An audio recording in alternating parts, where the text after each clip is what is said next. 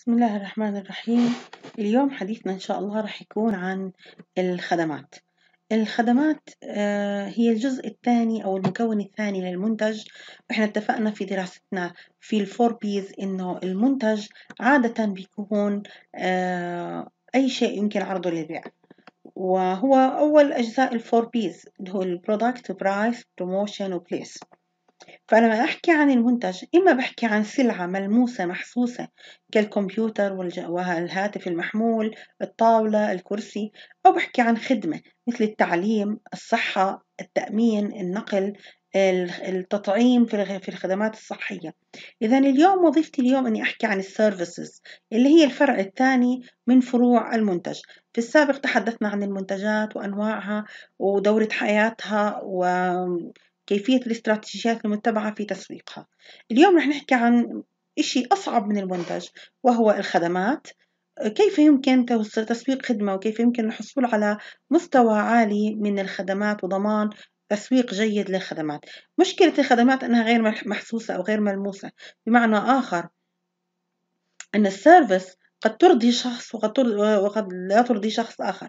فإذا حدث وذهبنا إلى مطعم أو أو أو كافيه ستجد أن البعض يجد أنه مناسب جدا والآخر يجده عادي والآخر يجده آه، سيء. كل منهم تتدخل في الخدمات الشخصية. الجانب الشخصي. إذا ما هي الخدمة؟ ال service. ستانتون عرف الخدمة أنها نشاطات. غير محسوسة ما معنى نشاطات؟ هي activities يقوم بها المسوق حتى يشعر الزبون بأهمية الخدمة التي سيوصلها بمعنى آخر إذا حدث وذهبت إلى مطعم الجلوس على الطاولة وطريقة ترتيب الطاولات والزوايا البيئية كمناظر الخضار الخضار في المطعم أو الموسيقى المشغلة أو اللبس الذي يرتديه السفرجية أو الجرسونات. كلها لها علاقة ب زيادة قابليتك ورضاك عن عن المنتج. إذا هي غير محسوسة يعني انتانجبل فإذا طلبت منك أن تخرج برنامج الإكسل من من الحاسوب ستفتح الجهاز ولن تجد إكسل رغم أنك تشاهده على الشاشة الرئيسية. هذه المشاهدة هي عبارة عن واجهة البرنامج لكن عمليات تشغيل البرنامج ومعالجته لا يمكن لمسها باليد. وتحقق أيضا منفعة للزبون أو للمستفيد من هذه الخدمة. أما كوتلر وأرمسترونغ وكوتلر إحنا نعرف نعلم أنه هو أبو التسويق. فيعرف على أنها نشاط أو منفعة يقدمها طرف لطرف آخر وتكون في الأساس غير ملموسة أو غير محسوسة. سنلاحظ أنه هاي خاصية هي أهم خاصية للخدمة أنها غير محسوسة وغير ملموسة ولا يترتب عليها أي ملكية. هاي العبارة لا يترتب عليها أي ملكية مهم جدا نفهمها بالخدمة. شرائنا لمنتج آه، آه، ملموس هي سلعة كشرائي للطاولة أو لقطعة ملابس سأمتلكها وأذهب بها للبيت. لكن الأكل في مطعم أو الركوب إلى استخدام الطائرة للسفر هذا لا يعني أن لك الحق ملكية الكرسي أو المقعد لأن هذه المقاعد خصصت من أجل تسهيل الخدمة وليست من أجل تملكها. الزاوية الخاصة في الخدمة توضح أنها تتميز بخصائص تختلف عن خصائص المنتج السلعي وهو ال products أو ال goods إذا الخدمة إلها خصائص بتختلف عن خصائص السلعة الملموسة المحسوسة التي يمكن تلمسها. أول خاصية للخدمات أنها غير محسوسة وغير ملموسة. يمكنني الشعور بها، يمكنني التعبير عن مستوى الرضاء، مثلا راضي غير راضي، لدي ملاحظات ولكن لا يمكنك مسكها باليد. ترتبط الخدمة بمنتج ملموس أو مادي وقد لا ترتبط. تقديم الخدمة أحيانا يرافقه منتج مثل السفر بالطيارة الخدمة هي النقل وهي غير محسوسة.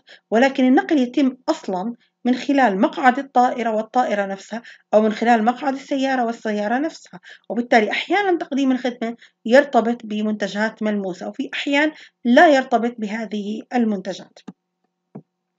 لا يمكن تملك الخدمة أو مقدمها فأنا لا أستطيع شراء المطعم الذي أكلت فيه لأنني دفعت ثمن الوجبة ولا أتملك صاحب المطعم كما أتملك السلعة العادية. والعبارة الهامة هنا أن مصطلح السلع يقال عنه باللغة التسويقية السلع تباع والخدمات تعرض. Goods selling and service offering. تدرك الخدمة بالحواس من خلال المنفعة يمكن بالرائحة للطعام يمكن بالراحة والشعور في السفر والنقل يمكن بالعافية في التطعيمات الصحية يمكن بالأمان بتأمين السيارة والتأمين ضد الحرائق وغيرها من بوليصات التأمين ولكن لا يمكن لمسها باليد تتألف الخدمة من جوهر تدعمه خدمات تكميلية ما هو الجوهر؟ كما شرحنا في مثال ال ال السلع أو الجودز السلع الملموسة أن هناك خاصية هامة بالمنتج أقوم بشرائه من أجلها فشرائي للصابون أصلا الهدف الأساسي منه هو النظافة. فالصابون الذي لا يقوم بوظيفة النظافة هو ليس صابون وبالتالي لن أذهب للشراء. وبالتالي جوهر الخدمة هي ما صنعت السلعة من أجله. وأيضا هناك خدمات تكميلية أو سلع إضافية لها مثل عملي أن تضع في السلعة صابون ذو رائحة أو أو لون معين أو عمليات التغليف بشكل جميل وجذاب وكذلك الخدمات. الخدمات عادة تتكون من جوهر وتدعمه خدمات تكميلية أخرى. لنعطي مثال الجامعة الجامعة الهدف الأساسي لوجودها أو جوهر وجودها التعليم. ولكن التعليم لوحده في الجامعة يصعب التعامل معه في بيئة جامعية إلا بوجود مجموعة من الخدمات التكميلية. مثل الكافتيريات المساحات الخضراء القاعات الواسعة آه، أساليب العرض المتجددة والإلكترونية الرحلات الترفيهية والتعليمية مجالس الطلبة والشعور بالحياة الجامعية كلها خدمات تقدمها الجامعة تدعم الدور التعليمي لها كيف تصنف الخدمات؟ صنفت الخدمات من وجهة نظر المسوق أو وجهة نظر المؤلف في علم التسويق. فهناك مجموعة من التصنيفات. التصنيف الأول اعتمد على أساسه على مجموعة من المعايير. أهمها الاعتمادية. على ماذا تعتمد الخدمة؟ بعض الخدمات تعتمد على معدات مثل خدمة غسيل السيارات آليا تعتمد على الماكينة أو خدمة صرف النقود من الصراف الآلي. هي خدمة ولا مثل الحصول على المبلغ من المال أو تحويله إلى عملات أو تحويل أو دفع شيكات من خلاله ولكن تحتاج إلى جهاز ال ATM للحصول عليها. وأحيانا هناك خدمات تعتمد على أفراد على أشخاص مثل خدمات التنظيف. الأشخاص الذين يأتون إلى البيوت لتنظيف البيوت هؤلاء نعتمد على الشخص نفسه. إذا ممكن أعتمد على آلة ممكن أعتمد على فرد.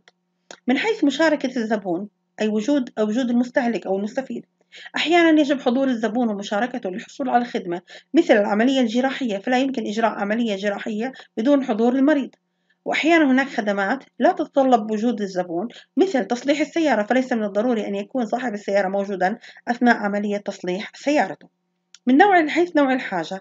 هناك حاجات فردية وهناك حاجات جماعية. مثلا التعليم حاجات جماعية أما السفر فأحيانا هي حاجات فردية. فبعض الأفراد يحب أن يسافر إلى دولة معينة وهذه ليست حاجة لجميع أفراد المجتمع. من حيث أهداف مزودي الخدمة في بعض مزودي الخدمة هدفهم ربحي أي يهدفون إلى تحقيق الربح. مثل المستشفيات الخاصة والمستشفيات الحكومية. المستشفيات الخاصة تهدف إلى الربح والمستشفيات غير الخاصة غير الربحية لا تهدف إلى الربح. ومن حيث الملكية هناك ملكية خاصة للقطاع الخاص مثل الشركات القطاع الخاص وهناك ملكية عامة للدولة مثل المدارس الحكومية والمدارس الخاصة. هناك تصنيف ثاني أو رأي آخر للمسوقين أو المنظرين في علم التسويق حسب نوع السوق. فهل هو نوع السوق زبون أو سوق المستفيد؟ أحيانا يكون المستفيد يحتاج إلى خدمة استهلاكية يستخدمها لاستهلاكه الشخصي. تقديم سلع إشباع حاجات شخصية آه، سميت بخدمات شخصية مثل آه، الحلاقة قص الشعر وهناك خدمات أعمال تقدم للشركات لا تكون لأشخاص عاديين مثل تقديم خدمات استشارية استشارات قانونية دراسات جدوى عمليات إجراء هاي لا تقدم إلى الأشخاص ولكن تقدم إلى الشركات أو نسميهم إحنا الأشخاص الطبيعيين المعنويين. حسب درجة كثافة وقوة العمل هناك خدمات تعتمد على قوة عمل كثيفة أي أنك بحاجة إلى آه، عدد من العاملين داخل المحل مثل بعض دور الحلاقة الكبيرة وصالونات التجميل الكبيرة مثل الجامعات الجامعات بحاجة إلى قوة وكثافة عمل وهناك خدمات تعتمد على مستلزمات ومعدات فقط آلات وماكينات مثل خدمة الاتصالات السلكية واللاسلكية فهي تعتمد على آه، الجهاز المحمول الذي تعتمد. حسب درجة الاتصال بالمستفيد هناك اتصال شخصي عالي جدا مثل الخدمات النفسية والاستشارات النفسية. فهناك ضرورة لوجود علاقة شخصية بين الطبيب والمريض. هناك خدمات ذات اتصال شخصي منخفض ليس من الضروري أن يكون الشخص موجود فيها كما سبق وأسلفنا تصليح السيارة. خدمات ذات اتصال شخصي متوسط أو معتدل مثل السحب من الصراف الآلي هي لحظات وتنتهي العلاقة بين الإنسان والآلة أو الخدمة التي يحتاجها. حسب الخبرة المطلوبة في هناك خدمات تحتاج إلى مهارات فنية مثل الطب. تحتاج إلى اختصاصي في العظام اختصاصي بالأنف والأذن والحنجرة أو اختصاصي في الجراحة. التصنيف الثالث يعتبر على اعتبار يعتمد على اعتبار الخدمة بمثابة عملية. يعني مدخلات ومخرجات وموجهة حسب الآتي فهناك خدمات لمعالجة الناس وهناك خدمات معالجة ممتلكات. المعالجة الناس تتألف عملياتها من إجراءات ملموسة ولكن توجه إلى أشخاص طبيعيين فالخدمة تتطلب حضور المستفيد. مثل خدمات الطبيب لا يجب وجود المريض عند المعالجة. وهناك خدمات تتطلب تتطلب من المستفيد مزود الخدمة أن يقوم بإجرائها آه، بشكل شخصي ولما توجه إلى ممتلكاته مثل الضرائب والجمارك. فليس من الضروري أن يكون الشخص موجود عند فرض الضريبة أو دفعها قد يقوم بدفعها من خلال آه، الأجهزة المحمولة أو من خلال الخدمات الإلكترونية. التصنيف الثالث للخدمات للخدمات الغير ملموسة خدمات المثير العقلي وخدمات معالجة المعلومات. يقصد بخدمات المثير العقلي مجموعة من الخدمات المؤلفة من إجراءات وأعمال لكن توجه إلى عقول المستفيدين وتتطلب مشاركات ذهنية. مثل العملية التعليمية التي نقوم بها الآن عن بعد يجب أن يحضر الطالب ويستمع ويشغل ذهنه وذاكرته لفهم المعلومات. مثل التعليم عن البعد. وهناك خدمات لمعالجة المعلومات آه، مثل إجراء عمليات آه، غير محسوسة لممتلكات المستفيدين مثل إجراءات التقدير والتخمين للممتلكات. وهنا هي عملية إجراء معالجات على آه، قيم مالية واعتبارات ورقية. أبعاد الخدمة. للخدمة بعدين رئيسيين. أولا الجوهر والخدمات التكميلية. الجوهر وهو الهدف الأساسي من الخدمة فالفندق الهدف الأساسي منه الاستراحة المستشفى العلاج الجامعة التعليم آه، صالون الحلاقة قص الشعر هذه خدمات أساسية وبالتالي صالون حلاقة لا يقوم بقص الشعر ويقوم بخدمات أخرى هو فقد الجوهر منه إذا ما هي ما هو الجوهر؟ إذا الجوهر يشير إلى الفائدة الأساسية التي يرغب المستفيد بالحصول عليها من الخدمة. والخدمات التكميلية هي أشياء أخرى ضرورية للحصول على خدمة متكاملة ورقي كلما زادت الخدمات كلما زادت مستوى رضا الزبون عن هذه الخدمة. شبه لافلوك أبعاد الخدمة بزهرة كوردة. لها مجموعة من الأوراق. كلما زادت أوراق الوردة كلما كانت نضرة أكثر. وكلما قلت أوراقها كلما آه، ضعفت ووقعت وتمكنت الريح أو الهواء من إسقاطها. المؤسسات الخدمية الفاعلة والمنظمة بشكل علمي تكون زهرتها متفتحة أوراقها ناضرة ومتعددة.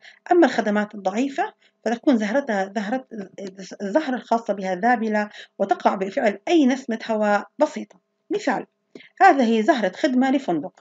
الخدمة في الفنادق الجوهر هي الخدمة خدمة الاستقبال الاستراحة وتقديم خدمات الإقامة المؤقتة لمسافرين أو نزلاء الفندق. لكن كلما كانت الخدمات التكميلية مميزة كلما كانت رغبة الناس باستهلاكها الخدمة أو حجز الفندق هذا أكبر. مثلا خدمات الفندقة النظافة التكييف الحجز خدمات المعلوماتية التعقيم نوعية الطعام الراقي الأمان الاستقبال آه، خدمات الإنترنت. كلما كانت آه، تقديم مستوى الخدمة كلما ارتفع مستوى الفندق من ثلاثة إلى أربعة إلى خمسة حتى أصبح في عندنا فنادق سبع نجوم. إلى هنا يكون لقاؤنا قد انتهى حول تقديم الخدمة. نتابع إن شاء الله لقاءنا في الحديث في اللقاءات السابقة حول أنواع الخدمات وتقسيماتها. شكرا لكم.